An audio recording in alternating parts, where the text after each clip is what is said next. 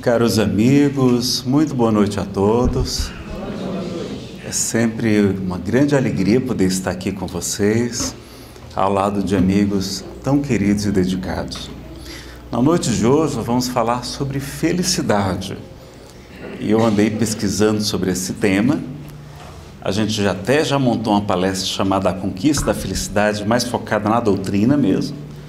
Mas hoje a gente vai falar um pouquinho da ciência. O que, que a ciência tem nos ensinado?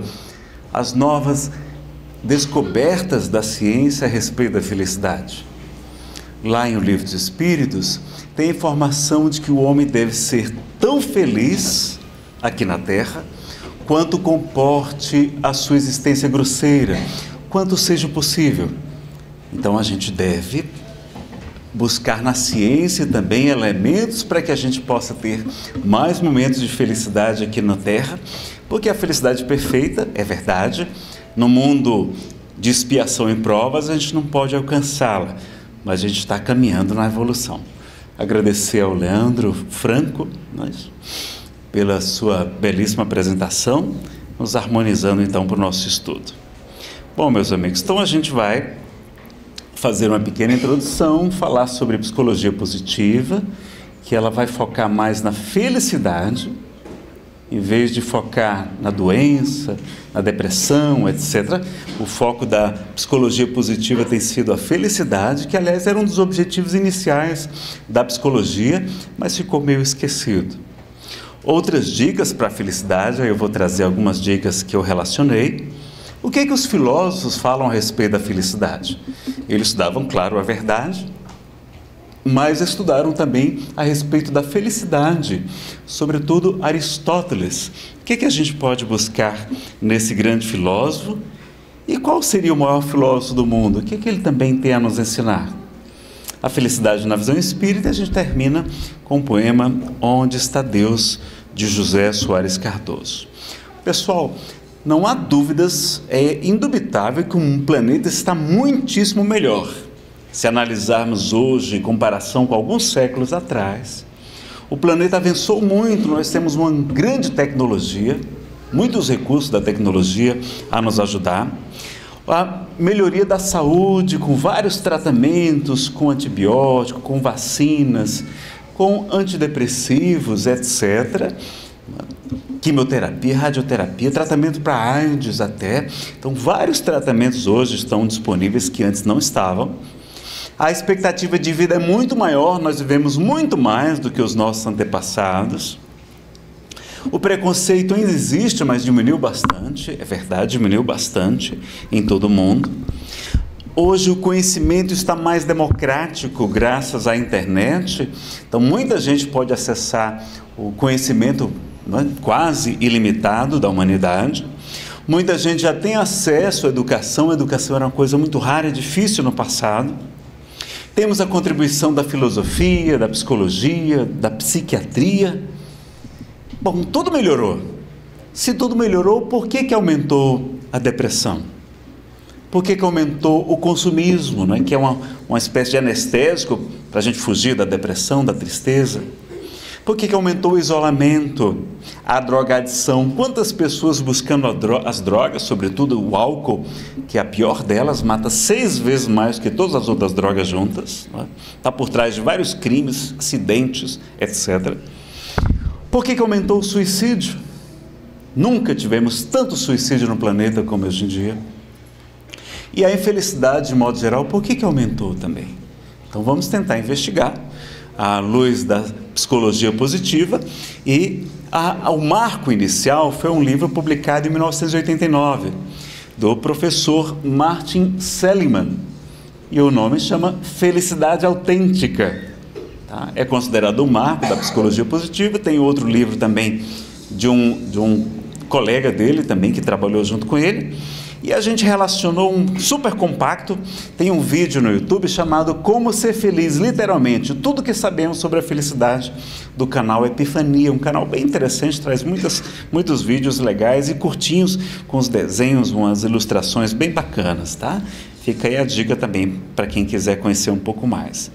E nesse vídeo ele vai relacionar que 50%, metade da nossa felicidade, eles acreditam que são predisposições genéticas, ou seja, a pessoa já nasce mais alegre, mais extrovertida, mais otimista, e tem pessoas que já nascem mais quietinhas, mais introvertidas.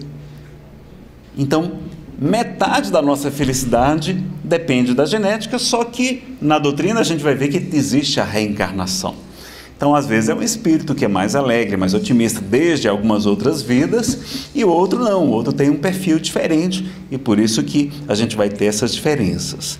Mas a outra metade, ele vai dizer que Curioso, uma das coisas que a gente acha que vai trazer muita alegria para a gente, felicidade, que é o salário melhor, status, beleza, juventude, poder, representa apenas 10% da nossa felicidade. Olha como a gente está focando no lado errado. Enquanto que 40% da felicidade depende de nós, do nosso comportamento. Dá para você mudar esse comportamento, dá para você treinar a sua mente para você ser mais feliz. Olha que interessante. Então, metade dá para a gente trabalhar, dá para a gente tentar se desenvolver, não é isso? E em vez de buscar o sucesso para ser feliz, eles estão dizendo também o contrário, que busque ser feliz, porque a felicidade também conduz ao sucesso. As pessoas mais otimistas têm melhores resultados nas empresas, mesmo que sejam menos habilidosas, elas conseguem ter melhores resultados, é? aumentos de vendas, etc., do que as pessoas, mesmo muito competentes, mas que não são otimistas. Então, é importante buscar também a felicidade. Vai trazer mais sucesso, melhores relacionamentos, uma remuneração melhor vamos ter um ambiente de trabalho mais agradável, vamos ser mais amados e mais queridos. Então vamos, é? porque todo mundo gosta daquela pessoa alegre, enquanto que às vezes a gente não está sendo uma companhia tão agradável, falando tanto problema, só falando dos, dos, dos, das dificuldades, não é? Vamos pensar nisso. E nesse vídeo ele relaciona oito itens para falar desse comportamento intencional. O que, é que a gente pode fazer? Então a gente vai analisar com vocês esses oito itens. O primeiro ele fala que é importante a gente tentar aumentar a dopamina, um neurotransmissor do cérebro que tem a ver com o bem-estar, com a felicidade. Então ele vai dizer que a atividade física variada, então você faz de vez em quando variar, fazer caminhada, mude o percurso, vá caminhar no parque, enfim, faça alguma atividade diferente, evitando a monotonia, produz muita dopamina, ajuda a produzir endorfina, você tem melhor saúde, melhor sono, etc. Você já sabe disso, não é? Dormir bem também é importante. Um adulto jovem, em torno de 8 horas por, por dia. A cooperação, então, quando a gente faz caridade, quando a gente ajuda uma pessoa, sobretudo quando é uma coisa espontânea que a gente faz, a gente se sente muito bem. Há pesquisas que demonstram que ajudar alguém produz tanto dopamina quanto a cocaína. E por isso o doutor Sérgio Lopes de Oliveira, Sérgio Lopes de Oliveira, acho que é, lá do Rio Grande do Sul, psiquiatra espírita, ele vai dizer que caridade até vicia a gente acha tão bom que fica viciado naquela sensação tão agradável de estar cumprindo nosso, nossa missão, nosso dever, não é? E a dopamina também aumenta, aciona os centros de aprendizagem do cérebro, a gente aprende mais, a gente fica mais inteligente quando vai estar cultivando a alegria. Aqui eu trouxe alguns que não estão no vídeo, tá? Então, cuidar da saúde, verificar como é que estão seus hormônios, é importante verificar também se você está pegando sol, a postura adequada, é? a postura até pode interferir na quantidade de testosterona nos homens, tá? em vez de ficar abaixadinho, triste, uma postura assim mais confiante, isso dá um sinal para o cérebro diferente. Uma alimentação saudável, não é? Alimentos ricos em triptofano ajudam a produzir serotonina. A banana é um deles. Comer duas horas antes de deitar, evitar comer muito antes de dormir. Se precisar usar medicação psiquiátrica, os espíritos amigos recomendam, como Emmanuel, no livro Chico Xavier em Goiânia, diz que a gente deve prestigiar ao máximo as conquistas da psiquiatria, né, nos, na criação dos ansiolíticos, dos neurolépticos, que proporcionam uma vida praticamente normal para quem tem algum problema de depressão, transtorno bipolar, esquizofrenia né, e outros. E a gente vai então ter também os benefícios da psicologia, diz Emmanuel, e da análise também, né, a linha de Freud. É, dormir à noite, então evitar dormir durante o dia, mas dormir mais à noite. Mas quem faz um trabalho noturno, que alterne de vez em quando, não é? Se for tirar um, aquele cochilo depois do almoço, a cesta, no máximo 20 minutos, no máximo 30. Ter mais contato com a natureza também ajuda. E agora voltando para o vídeo, ele fala que a gente deve buscar os estados de flow, que seria fluir em inglês, não é?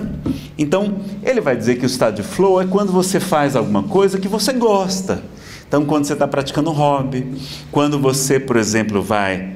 É, aqui está aqui. Vai fazer uma atividade física, se você gosta daquela atividade, tocar um instrumento, não é? O Leandro já confirmou aqui que ele sente muito bem. Então você fica inteiro, você esquece os problemas né, naquele momento. Estudar também, aprender, aliás, é uma das coisas que traz muita felicidade para o ser humano. Desenhar, pintar, se você gosta. Trabalhar, para algumas pessoas o trabalho também traz muito, muita alegria. Dançar, aliás, dançar é uma coisa maravilhosa, pessoal.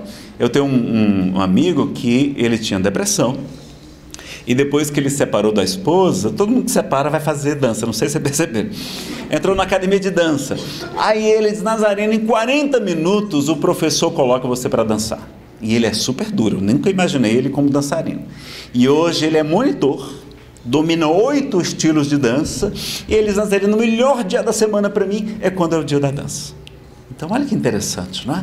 Porque tem a atividade física, tem a música para nos envolver, para nos estimular, músicas que a gente gosta, sobretudo, e também a companhia, fazendo novos amigos, ajudando outras pessoas a aprender a dançar e a, se aperfeiçoando. Então, isso é muito, porque é um desafio, porque você está sempre querendo aprender algum passo novo. Então, muito bom dançar. Eu adoro dançar. Quando eu estou meio romântico, porque eu não fico mais em depressão. Não entro mais em depressão. Eu fico em reflexão ou romântico, que é aqueles poetas, pintores, era tudo depressivo, mas era chamado romântico, porque não tinha a palavra depressão. Não é? Então, a gente usa a dança botam música animada, eu gosto de música dos anos 80, anos 90, e aí lembra a minha juventude, aí eu gosto de dançar, dá vontade de malhar, é muito bom. A Lívia, minha filha, de um ano e seis meses, adora dançar comigo, né? É uma farra. E a gente, então, a gente esquece de nós mesmos nesse estado de flow. É o que há uma, um tipo de meditação zen budista chama de atenção plena ou vivência plena. Então a gente fica focado. E Jesus já falava disso. Lembra quando ele fala que a gente tem que se assemelhar às criancinhas?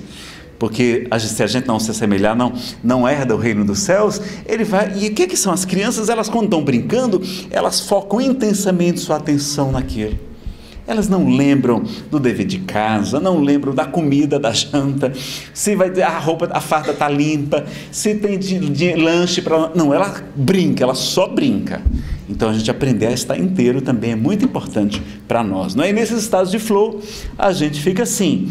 Agora ele vai fazer uma observação: se a sua habilidade é menor que o desafio, então isso pode gerar ansiedade ou frustração. Você vê que você não dá, vai dar conta e que ele gera frustração. Agora, ao contrário, se você é muito habilidoso e aquele desafio é fácil, isso pode provocar tédio. Não, é? não estimula a gente a fazer isso aqui, você quer já cansar de fazer. Quando há o equilíbrio, então, do desafio e da, da habilidade, a gente entra nesse estado de flow que a gente deve buscar, né? Ter os nossos hobbies, etc. Vai dizer que não existe prazer sem dor, que a felicidade, os momentos de felicidade são passageiros. Passageiros porque a gente tem um negócio chamado adaptação hedonista.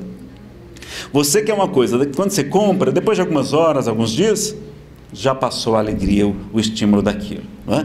Você gosta muito de comer chocolate. Quando você come três, quatro chocolates, já fica cheio, você não quer nem ver chocolate na sua frente naquele instante, não é? Então a gente tem aquela adaptação hedonista que chama, e a gente precisa dos problemas também para valorizar os momentos felizes. Ele vai dizer que quando a gente passa pelos problemas, a gente fica mais capacitado, mais habilidoso para ser mais feliz. Olha que coisa interessante também. Infelizmente, os problemas também passam, não é? Chico Xavier nos ensinava: tudo passa e isso também vai passar. E vai dizer que os recursos básicos financeiros são suficientes, não é? A gente não, dinheiro que excede essas necessidades não traz mais felicidade. Por exemplo, os Estados Unidos, que aumentou muito o PIB, a renda per capita, as famílias têm muito mais dinheiro hoje, as casas melhores, muito mais conforto, mas não trouxe mais felicidade. Pelo contrário, muita gente com depressão lá também, não é?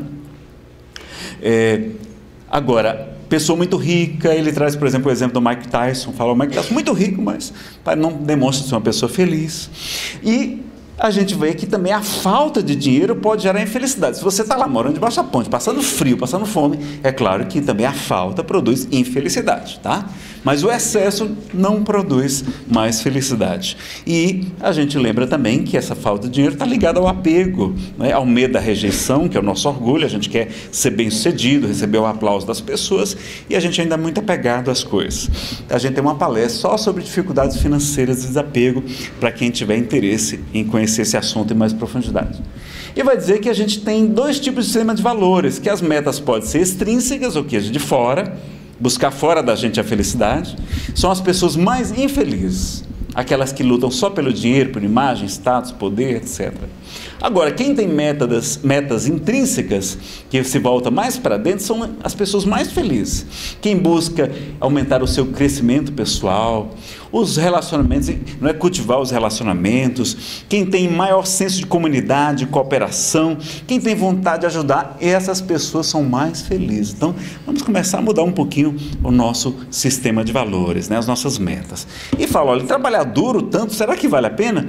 O Japão, por exemplo, tem um PIB, um produto interno bruto enorme, mas há tanta competição, há tanto estresse, tanta ansiedade, tanta depressão no Japão eles não são felizes.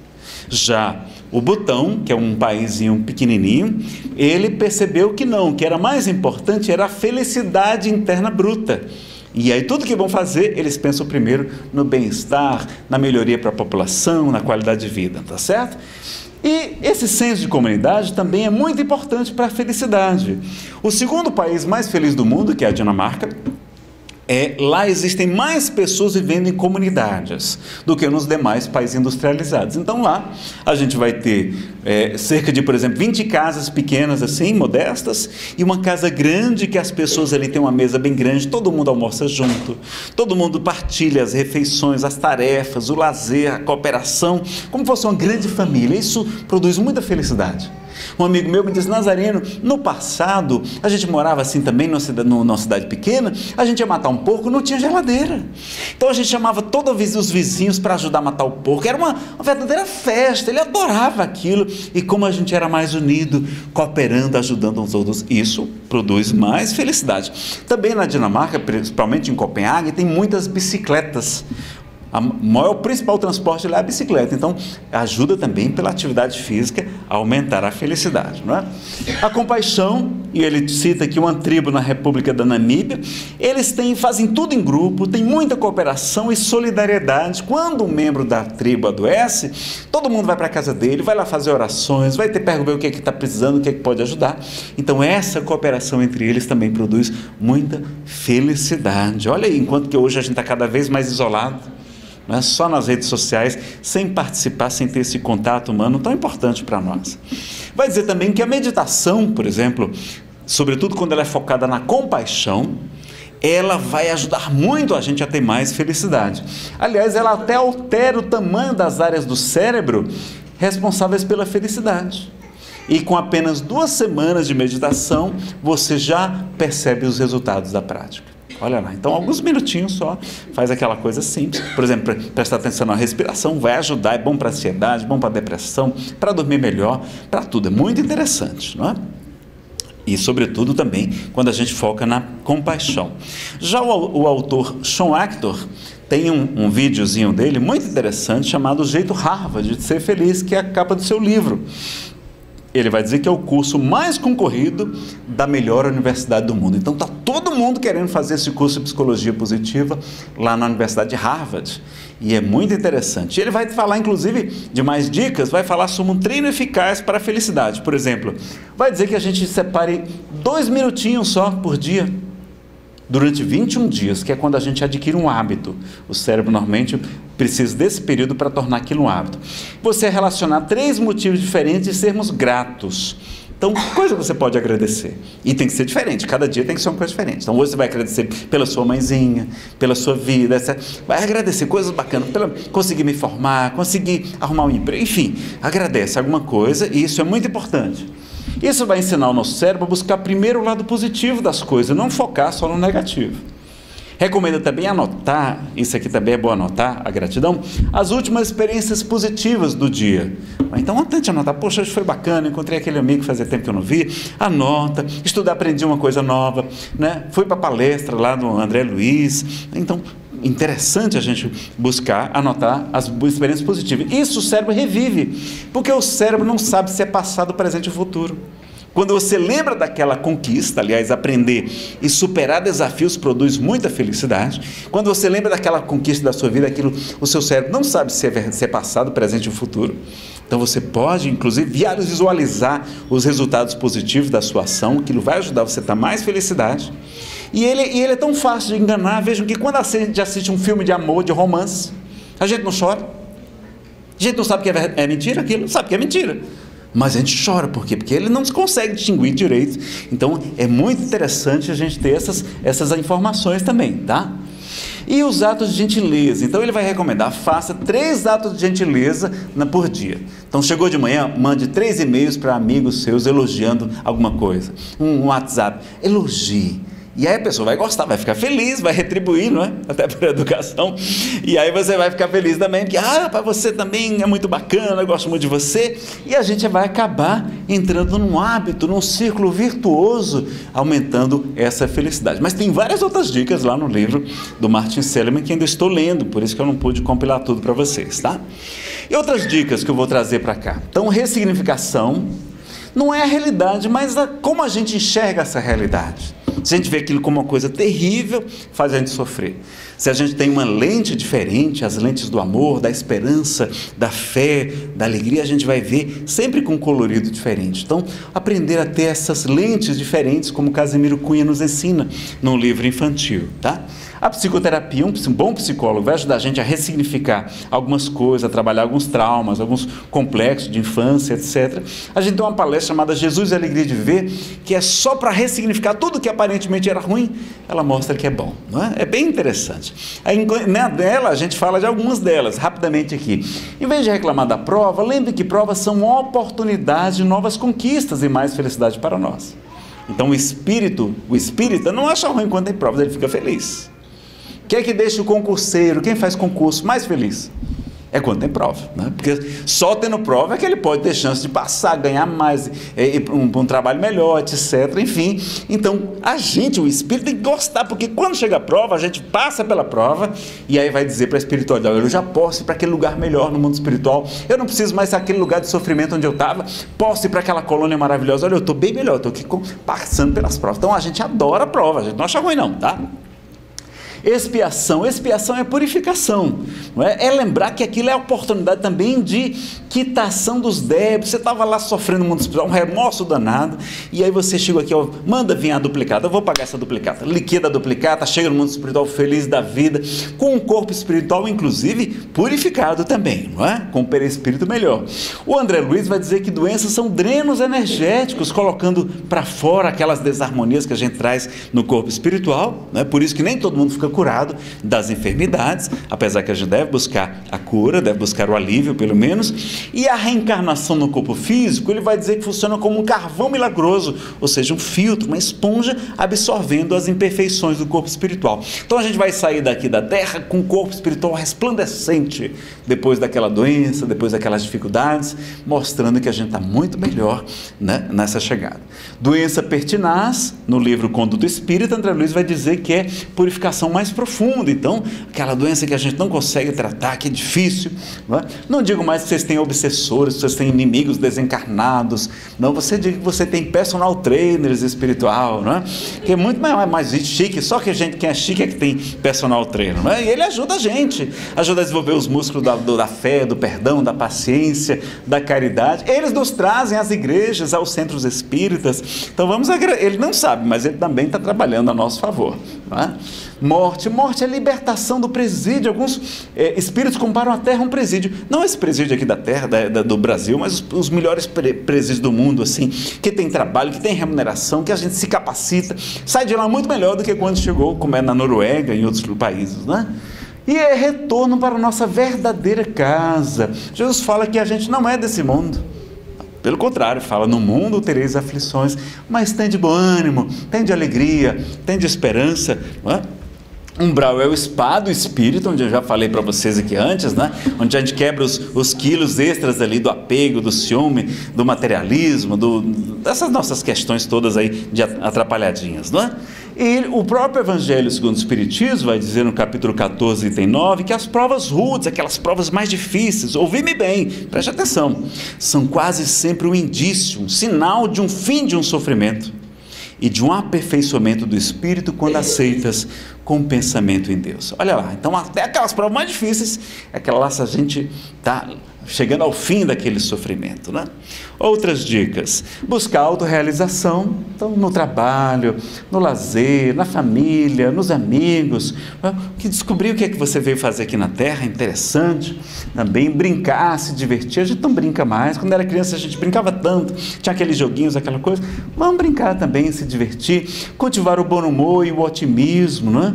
porque a gente plasma o nosso futuro com o nosso pensamento, diz o livro, é, diz André Luiz no, no livro Resposta da Vida, na mensagem Pensar, o título é Pensar da Mensagem, buscar experiências diferentes, aprender coisas novas, uma nova língua, uma nova arte, enfim, buscar uma coisa, aprender a tocar um instrumento, cantar aqui no coral, o coral estava ali cantando, a gente vê a abadia cantando, você vê como, como os olhos delas, dela brilham quando ela está cantando, não é? É aquela coisa assim animada, então é bacana, né?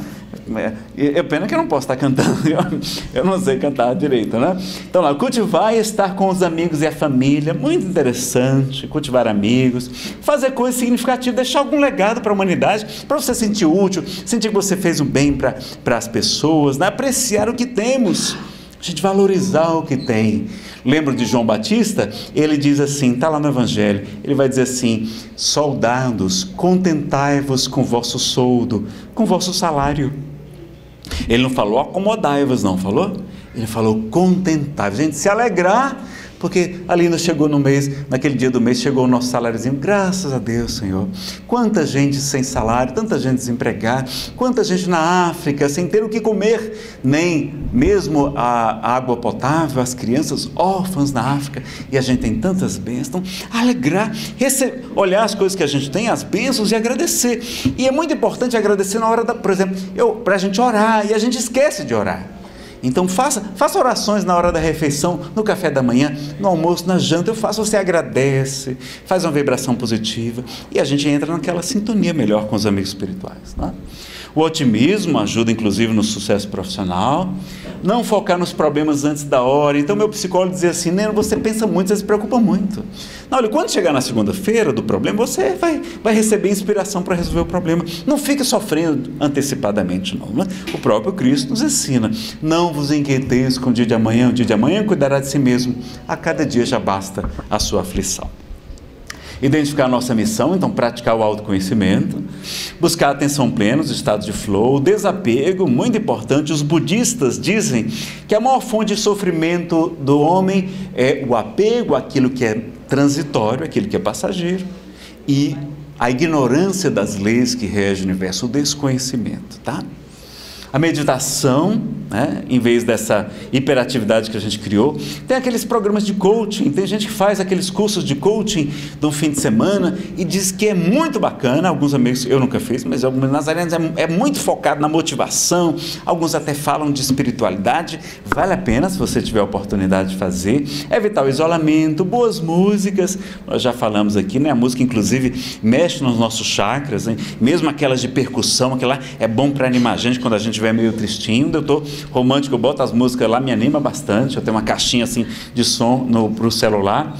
O banho, eu não sei se vocês sabem, mas existe o autopasse também na doutrina espírita, e naquela hora você pode pensar, visualizar boas energias. É tão bom aquele contato com a água, né? A gente sente. E meu psicólogo chamou minha atenção, Neno, você tem que curtir o banho. Sinta a água escorrer pelo corpo, água quentinha nesse frio, olha que maravilha o saço sabonete, o shampoo cante. Eu acho tão bom tomar banho, pessoal. Não sei se é porque eu sou do Ceará, mas eu adoro tomar banho. Né? E tem até uma, uma, expressão popular, né? Ah, ah, ah, vai tomar banho, vai tomar banho, não é assim? Então, tiver meio desanimado, desanimado toma um banhozinho para melhorar as energias também, você se animar mais. Você faz uma, um pouquinho de atividade física, né? Na hora de espalhar o sabão. Cultivar o bom humor, Cuidado com o excesso de notícias ruins, os noticiários só tra trazem tantas notícias ruins. Evitar a comparação. Lembrar que tem a parábola dos talentos. O trabalhador que ganhou só uma moeda, é, é exigir dele que ele produza mais um e não cinco, como o outro que ganhou cinco. Então, não vá se comparar com Chico Xavier, com Madre Teresa, com Francisco de Assis. A gente não é igual, pelo menos eu não sou. Isso é o orgulho da gente gerando o perfeccionismo. Então, vamos fazer a nossa parte, deixar a nossa contribuição, mas porque a gente só se compara com os mais competentes, mais inteligentes, mais bonitos. Aí a gente fica sofrendo, não é? Melhorar as relações e o ambiente físico de trabalho, coloca lá umas flores, um jarro, é? uma, uma plantinha, a foto da família para você lembrar da família. E até a nossa a questão do relacionamento, eles querem dizer que a gente é incompleto, que a gente precisa encontrar alma gêmea. E aí Allan Kardec pergunta em o livro dos Espíritos se existem almas gêmeas. E os Espíritos dizem que não. Porque, como Jesus nos falou, o reino de Deus está dentro de vós. Não depende de outra pessoa, não vem com aparência exterior. É? E no relacionamento, o homem tem duas etapas na vida: quando ele é triste e quando ele é feliz. Ele é triste quando ele acha que ele tem razão aí ele não é feliz. Mas quando ele descobre que a mulher dele sempre tem razão, aí ele é feliz. Então você prefere ter razão ou ser feliz? Eu prefiro ser feliz. Então lá em casa eu estou treinando isso. Eu falo as coisas, eu falo, não, mas isso aqui seria. Não, mas a Ana, se ela fala que é diferente, não, minha querida, você tem toda a razão. Pronto, aí todo mundo fica feliz, ninguém briga. Que a gente faz, faz discussão por causa de besteira, não é? Deixa as besteiras para lá. É melhor ser feliz do que ter razão, né? Aí a pessoa vai ficar mais legal com você, você vai ficar mais legal com ela, tudo melhora, tudo melhora. Vai até lhe ouvir mais, porque vai lhe querer mais bem, não é? Anotar as nossas qualidades e virtudes, fazer um autoconhecimento positivo, porque a gente tem feito, na verdade, em vez de reforma íntima, tem feito uma tortura íntima. Não, é? não vamos anotar as qualidades. Veja, faça a nota no seu num caderno, quando você não estiver bem assim, as suas qualidades, as suas realizações até o momento. Como você tem coisas boas, você é uma pessoa bacana, não é? Então, vai encontrar coisas muito legais fazer caridade, mas sem salvacionismo. Não estamos aqui na terra para salvar o marido, a esposa, o toxicômano. Não, a gente está aqui para se auto-aperfeiçoar, dizem os Espíritos. É claro que a gente vai ter caridade com todos e vamos ajudar também os nossos irmãos. Mas se a pessoa não quer ajuda naquele momento, paciência. Jesus fazia caridade com todos, mas quem não queria ouvir o Evangelho, ele deixava a pessoa quieta. Não ficava sofrendo por causa daquilo como a gente fica. Não é? E o autoconhecimento a gente vê desde a Grécia antiga, Sócrates divulgando o Conhece a Ti Mesmo, o livro dos Espíritos fala que o autoconhecimento é o meio prático mais eficaz do homem melhorar-se nesta vida e de resistir ao arrastamento do mal, ensina Santo Agostinho. Na 919A, de O Livro dos Espíritos, ele ensina como fazer, tá? Mas se você quiser aprofundar esse assunto, ver outras técnicas, a gente tem um seminário só sobre autoconhecimento e iluminação interior, com várias informações interessantes. E o que é que Aristóteles, o grande filósofo, nos ensinou? Ele falou sobre felicidade, escreveu, aliás, sobre ela. Ele vai escrever um livro que tem o nome de Ética. E ele vai dizer que as virtudes produzem felicidade, as qualidades. Então, quanto mais virtuoso o homem, mais ele é feliz. E também pede para a gente buscar a justa medida, que Buda vai nos ensinar com o nome de caminho do meio. Então, nem um extremo, nem o outro. Não é? Buscar o equilíbrio, aquilo traz verdadeira felicidade. E vai dizer também que as virtudes podem ser adquiridas através de hábitos. Você começa a praticar, você vai começar a ficar bom. O hábito faz o monge, o hábito é a roupa também do monge, né? Mas assim, a gente tanto praticar, a gente acaba ficando uma pessoa melhor, se a gente colocar como aquela, aquela meta, né? No próprio doutrina espírita, a gente aprende que quanto mais evoluído é o espírito, mais ele é feliz. Então vamos buscar desenvolver as virtudes também em nós. E quem foi o maior filósofo que vocês já tiveram notícia? Vocês você gostaria de escutar a opinião de vocês. Qual o maior filósofo que vocês conheceram? Hã? Bom, esse é esquecido, ele não é chamado de filósofo, né? aliás, não dá nem para chamar Jesus de filósofo, porque ah, ele é de uma dimensão divina, não é humana propriamente, diz Emmanuel no livro O Consolador, mas a gente vai ver, realmente no livro dos Espíritos falam que o tipo mais perfeito que Deus tem oferecido à humanidade para servir de modelo, ou seja, para a gente imitar, e para ser nosso guia, então é para a gente imitar, eles vão dizer que é Jesus, ouvir de Jesus. Então, que, que ensinamentos ele nos trouxe? O que, que Jesus tinha de qualidades que a gente deve imitar para buscar ser mais virtuoso e, portanto, mais feliz? Quem lembra qual é a primeira qualidade que ele traz no livro Boa Nova, de Humberto de Campos, pela psicografia de Chico Xavier? Qual a primeira qualidade, a mais importante? O capítulo chama Fidelidade a Deus. Bom, um dos filhos de Zebedeu pergunta e Jesus fala que acima de todas as coisas é preciso ser fiel a Deus. Então a fidelidade, porque não vai amar, você ama, mas sem conhecer as leis de Deus, você não vai amar tão corretamente, não é? Então a primeira coisa é tentar cumprir os mandamentos divinos, seguir o evangelho de Jesus, os seus ensinamentos. Então, fidelidade é o primeiro passo. E a gente vai verificar que ele mostra que existe um reino dos céus fala que o reino dele não é deste mundo, a gente vai ter aflições aqui na terra, mas tem de bom ânimo, eu venci o mundo. Pede para a gente buscar primeiro o reino dos céus, a sua justiça, e tudo mais não será acrescentado, desde agora, inclusive, também, não só no mundo espiritual. Fala-nos claramente, diretamente a respeito da reencarnação, em cinco passagens, e para nós, o que Jesus falou tem mais valor do que outras pessoas falaram na Bíblia, não é?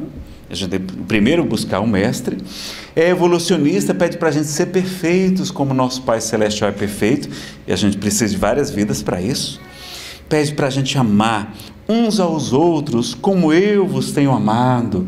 Então, coloca o amor como uma condição primordial para nós. É? Levava a caridade, como ele não tinha bens para distribuir, o que, é que ele distribuía? Distribuía as curas para chamar a atenção para o grande presente que era a sua mensagem. O seu evangelho é o grande tesouro que ele veio nos dar. É? Era consolador, consolava todos humildes de coração, falou-nos da importância do conhecimento, conhecereis a verdade, a verdade vos libertará, do autoconhecimento, nós já vimos aqui rapidamente, aqui esse slide ficou repetido, me perdoem, eu vou ter que correr aqui. E Jerônimo Mendonça, aqui é a tradução do Haroldo Dutra Dias, vai dizer que existe uma receita para a felicidade real, que são as bem-aventuranças. Vai dizer que está lá. É aqui no Sermão da Montanha. Aliás, bem-aventurado significa feliz, vocês já sabem disso. Então, feliz os pobres em espírito, os humildes, os aflitos, os mansos, os que têm fome de ser de justiça, os misericordiosos, limpos de coração, os pacificadores, os perseguidos por causa da justiça. E a mais extraordinária delas, bem-aventurança, é quando nos injuriarem e perseguirem por causa dele, por causa do Evangelho. Que a gente tem que se alegrar e se regozijar, porque grande é a recompensa que nos aguarda. Não é? Então, ele recomenda a humildade, a resignação ativa, a aceitação sem revolta, a mansidão, a paz, a confiança, a esperança, a misericórdia, a compaixão, a pureza de coração, ser pacificador, que é diferente de ser pacífico, não é? é mais, é mais avançado. Confiança e esperança por causa da justiça e confiança e esperança para os perseguidos por causa do Evangelho. Ele fala que tem recompensas. Ele fala para Pedro, Simão pergunta a ele o que será de nós, ele vai dizer: Simão, eu vos digo em verdade que tudo aquilo que renunciares na terra por amor de mim ou do meu Evangelho, recebereis em cêntuplo, desde agora, agora. E no porvir, no futuro, a vida eterna. Então ele fala que a gente vai ter receber cem vezes mais. O Espírito da Verdade também confirma essa informação em um Evangelho segundo o Espiritismo. A humildade, não é? Então, quem quiser estudar um pouquinho mais sobre orgulho e suas máscaras, a gente tem uma palestra específica sobre esse assunto. A gratidão então, Jesus estava sempre louvando a Deus, agradecendo. Né? Francisco de Assis, então, estava sempre cantando e agradecendo, nutria a alegria, como a Bernadette falou, era chamado irmão alegria, e pedia para os outros frases: olha, quando eu estiver triste, vocês, por favor, me ajudem. Não me deixem ficar, cair na tristeza. E a maior característica de Chico Xavier não era humildade, dizem seus biógrafos, era a alegria de viver. Estava sempre contando causos engraçados, piadas singelas, fazia brincadeira com as suas próprias mazelas, seus problemas. Estava sempre levando alegria, apesar de muitas dificuldades que ele enfrentou aqui na Terra. A resignação, a aceitação diferente da negação, não é? Porque Jesus falou: aquele que quiser vir após mim, renuncie a si mesmo, esqueça um pouquinho de você. Tome a sua cruz, a sua doença, a sua família difícil, a sua expiação, vem e segue-me, não é? Chico Xavier dizia que 50% da cura da enfermidade chama-se aceitação. E que os outros 50%, a outra metade, vem com o tempo, devagarinho. Reforma íntima, ele fala arrependei-vos, arrependei-vos em grego é metanoia, metanoia é mudança de mente, é reforma íntima, não é? importante buscar reforma íntima, a caridade, não é? ele fala, o único critério para a salvação que Jesus fala na parábola dos bodes das ovelhas é a caridade, ver fome, deixe comer, etc. Não é? Então, e a doutrina espírita diz que a caridade é a bondade ativa para com todos, a gente ser bom para todos. Não é? O perdão, falou-nos várias vezes sobre o perdão, sobre tudo que perdoai, para que Deus os perdoe, porque se não perdoardes aos homens, também Deus não vos perdoará os vossos pecados. O alto perdão vai dizer que o trabalhador que, que lança a mão da charrua do arado e olha para trás não é digno do reino dos céus. Então, deixa o passado para trás. Ele quer saber daqui para frente, não é? A gente tem uma palestra sobre esse assunto também. Auto perdão, felicidade sem culpa. Coragem enfrentava os fariseus, não recuou diante do sofrimento. A assertividade, ou seja, canalizava bem a sua energia agressiva, sobretudo naquele episódio dos vendilhões que estava especulando, extorquindo o povo na, durante a Páscoa no Templo de Jerusalém. Fazer caridade sem salvacionista, não é? Fé, defendia a fé, a confiança na providência divina, cultivava amizade. Não é? Humberto de Campos mostra isso muito bem no livro Boa Nova, que era o livro que mais tocava o coração de Chico Xavier, a psicografia dele. Cultivar alegria também no Boa Nova, várias passagens disso. Trabalhar, vai dizer que eu trabalho até hoje, meu pai também trabalha. Desapego, ao máximo, Jesus viveu o desapego ao máximo. Não tinha casa, não tinha carro, não tinha família, não tinha esposa, não tinha filhos, não tinha roupas de grife, não tinha o aplauso do mundo recebeu foi a cruz e até a sua mãezinha ele doou para João na hora da crucificação. Né? E a sua vida em favor da humanidade. Defende o esforço, pede para a gente se esforçar, também não é para se acomodar. Expulsava os espíritos impuros, então ele fazia desobsessão, fazia culto do evangelho no lar, diz o livro Boa Nova e também Jesus no Lar, de Neio Lúcio, por Chico Xavier, fazia cirurgias perispirituais, não é? A gente também tem esse recurso na casa espírita também, em alguns, alguns centros tem esse tipo de atividade. É, atenção plena, fala-nos das crianças, para a gente se assemelhar, para a gente ter a atenção plena que os budistas nos ensinam, é serenidade, pede para a gente não andar ansioso com que vamos comer ou vestir, não é o corpo muito mais do que a roupa, e a vida muito mais do que o alimento? E qual de vós, com a vossa preocupação, é capaz de aumentar a sua vida em uma hora, ou a sua estatura em um côvado? Pelo contrário, a gente é, morre antes de estresse, de ansiedade. Não é? Então a gente pede para a gente confiar em Deus. Olhai as aves dos céus, elas não plantam, não ceifam. E eu vos digo a verdade que o Pai que está no céu provê seu alimento a cada dia. Não sois vós muito mais do que os pássaros, homens de pouca fé. Olhai os lírios do campo, eles não tecem, eles não fiam. E eu vos digo em verdade que nem mesmo Salomão, em toda a sua glória, em todo o seu esplendor, jamais se vestiu como um deles. Se o Pai veste assim a erva que hoje nasce e amanhã mesmo será lançada ao fogo, quanto mais a vós, que sois seus filhos amados, homens de pouca fé. Qual o pai que o filho pedindo pão lhe dará uma pedra? Ou que o filho pedindo um peixe lhe dará uma serpente? Se vós que sois maus, sabeis dar boas coisas aos vossos filhos, quanto mais vosso Pai Celestial saberá dar boas coisas a seus filhos. Então ele pede para a gente não ter ansiedade, sofrer, não é? Fala que a, até os cabelos de nossa cabeça estão todos contados. No meu caso está até mais fácil de contar, né? Tá. Não tem muitos, não. Pede para a gente ter fé no futuro, a resignação, não criar expectativas, pede para a gente sentar nos últimos lugares, dá várias dicas, né? Individuação, ele sabia que tinha uma missão, comunhão, a tua sua vontade alinhada com a vontade do Pai Celestial, autodeterminação, ele decidia a sua vida, não ficava também indo com Maria, com as, vai com as outras, até quando Maria quer levá-lo para uma escola de rabinos, ele pede que não, que ele possa ficar na oficina de carpintaria com seu pai, diz o livro Boa Nova também de Humberto de Campos. Contemplação, pedir para a gente olhar os lírios do campus, né? então a gente aprender a... olhar a beleza que tem em toda a natureza. Tinha ações e não reações, como a gente costuma praticar. Cooperação, então buscou o trabalho em equipe, acercou-se de 12 apóstolos. Pureza e não puritanismo. Vocês lembram? Teve um episódio com Chico muito curioso. Chico Xavier estava na sua casa, estava sentado, e alguém quis constrangê-lo. Pegou uma revista de mulheres nuas e colocou aberta assim na frente dele. Ele ficou surpreso, ficou ali folheando, admirado. E quando terminou, ele disse assim: É, meu filho, tudo que Deus faz é lindo, não é? Olha o que é que é alguém puro de coração e não puritano. Conseguia ver bondade e beleza em tudo na criação. Enquanto que fosse nós, né, a gente, que é isso, rapaz? Eu sou palestrante, dou palestra lá no André Luiz, tira isso aqui de perto de mim e louco para ver as meninas sem roupa mesmo. Né? Então, é puritanismo. Então, é o puro de coração. Alegria, diz o livro Boa Nova também. Vários episódios de Jesus tendo, demonstrando alegria, simplicidade, a generosidade, dava sem esperar nada em troca, responsabilidade, oração, orava muito, se recolhia em montes para orar, para jejuar, prudência, pede para a gente ser manso como as pombas, mas prudentes como as serpentes. Ele vê qualidade num animal que todo mundo detesta, a cobra as serpentes. Olha como ele tinha um, um olhar crítico, né? Olhava para nós e enxergava a gente lá no futuro.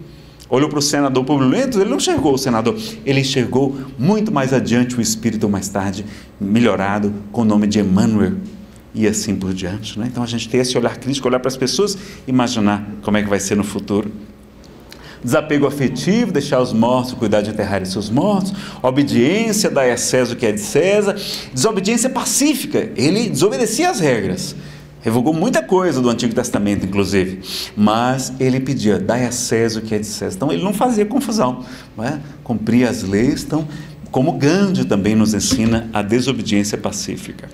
A impassibilidade diante da opinião alheia não estava nem um pouquinho preocupado com o que estavam pensando dele.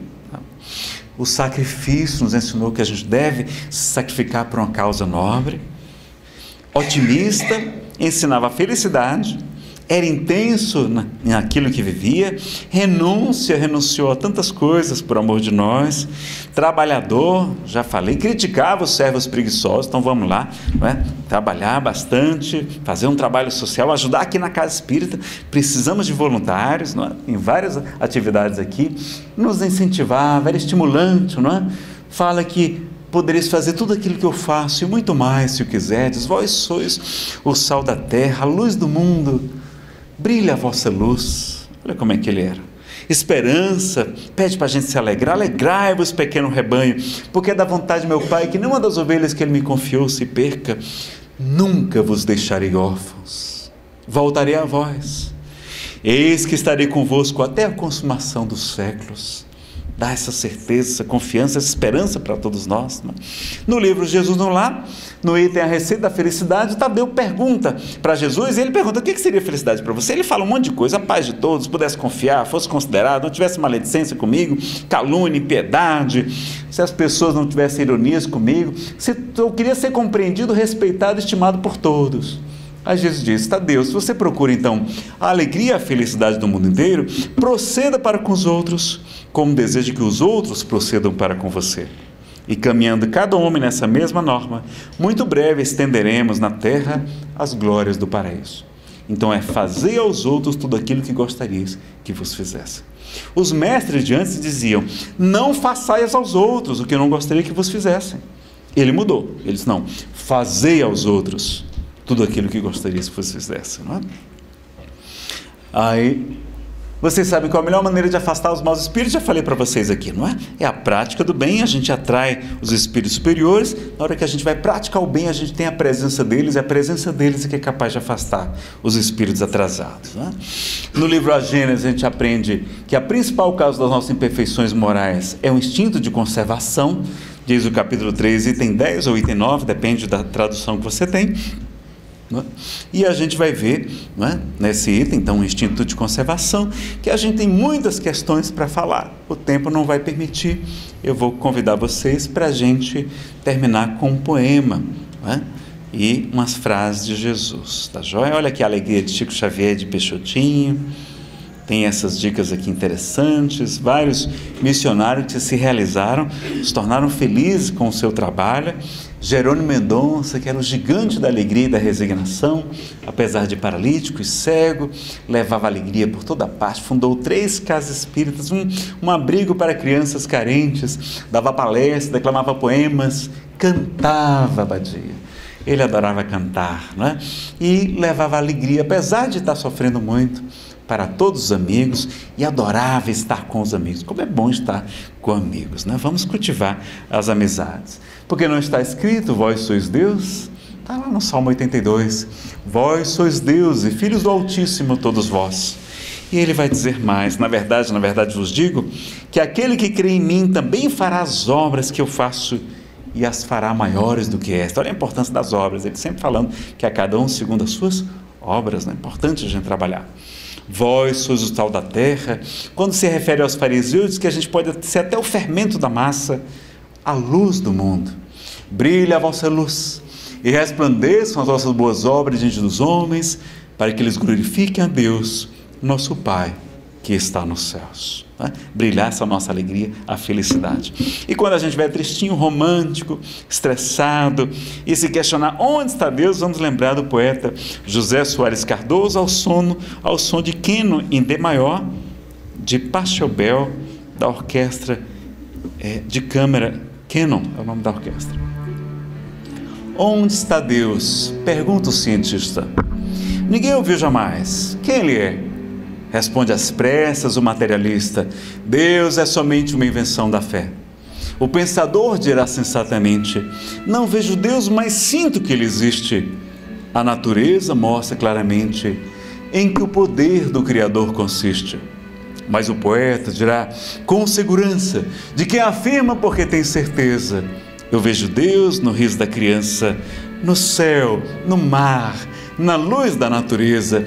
Contemplo Deus brilhando nas estrelas, no olhar das mães fitando os filhos seus, nas noites de luar claras e belas, que em tudo pulsa o coração de Deus. Eu vejo Deus nas flores e nos prados, nos astros a rolar pelo infinito. Escuto Deus na voz dos namorados e sinto Deus na lágrima do aflito. Percebo Deus na frase que perdoa. Contemplo Deus na mão que acaricia. Escuto Deus na criatura boa. E sinto Deus na paz e na alegria. Eu vejo Deus no médico salvando. Presinto Deus na dor que nos irmana. Descubro Deus no sábio procurando compreender a natureza humana. Eu vejo Deus no gesto da bondade, escuto Deus nos cânticos do crente, percebo Deus no sol, na liberdade e vejo Deus na planta e na semente. Eu vejo Deus, enfim, por toda parte, que tudo fala dos poderes seus. Descubro Deus nas expressões da arte. No amor dos homens também sinto Deus, mas onde eu sinto Deus com mais beleza na sua mais sublime vibração, não é no coração da natureza, é dentro do meu próprio coração. O reino de Deus está dentro de vós, nos ensinou Jesus. Então, que Ele nos abençoe, nos mantenha em sua paz, na sua harmonia. A gente vai ter agora a parte do passe. Eu vou dar só um avisozinho rápido, dizer que nesta sexta-feira Nesta sexta-feira vamos ter um encontro da Fraternidade Sem Fronteiras, que ajuda as crianças órfãs da África, também os refugiados da Venezuela e tá aqui, tem essa, tá aqui, ó. Vamos estar conosco aqui o Wagner Moura, o fundador e presidente da Fraternidade Sem Fronteiras, a Clarissa Paz, que está no projeto Nação Ubuntu, lá na Malawi, na África Subsaariana, e a doutora Adriana Mello, que coordena um projeto de apoio às crianças com microcefalia, lá na Paraíba.